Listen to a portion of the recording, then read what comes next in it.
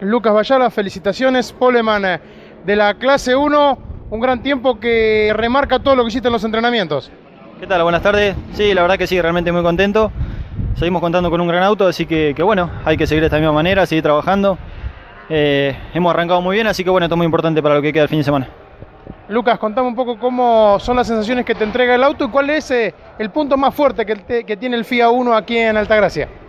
Creo que tenemos un gran conjunto. La verdad que ahora en la clasifica por ahí jugó un poco, eh, un poco raro el factor del tema del viento, tratar de, de ir en succión.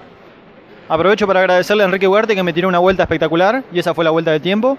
Eh, pero bueno, después el auto la verdad que va realmente muy bien, tanto chasis como motor van muy bien. Hay que seguir trabajando, la pista cambia mucho cada vez que salimos, así que bueno, vamos a dejar todo para tratar de, de sumar la mayor cantidad de puntos durante todo el fin de semana. Ahora, Lucas, ¿cómo se trabaja para la serie? Se corren sobre el final de la tarde y está en una pista muy cambiante desde lo climático. ¿Cómo se corre? Tranquilo, tranquilo. eh, como te decía, tengo un gran auto. No, no voy a desesperarme a tratar de, de salir, obviamente, a ganar la serie. Eh, creo que va a ser muy difícil tratar de escaparse por el tema de la succión. No va a ser fácil, hay mucho viento y, cuando viene un trencito de atrás se hace por ahí fácil seguir en las partes rápidas. Así que bueno, vamos a tratar de, de hacer una serie rápida, tratar de salir a escaparnos si se puede y si no, defendernos donde podamos.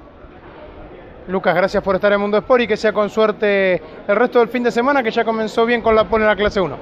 No, muchísimas gracias a ustedes por la nota.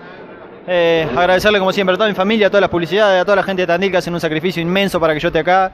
La verdad que lo hacemos con, con, mucha, muy, muy a pulmón, la verdad que, que se junta hasta lo último que tenemos para poder venir a correr y bueno, lograr estos resultados de esa forma, la verdad que, que nos deja muy contentos. Agradecerle a Adriana Espuna, a Jorge Piedra, a toda la gente de Tandil. Eh, no tengo palabra de agradecimiento para todo y la verdad que bueno, esperemos seguir de esta misma forma.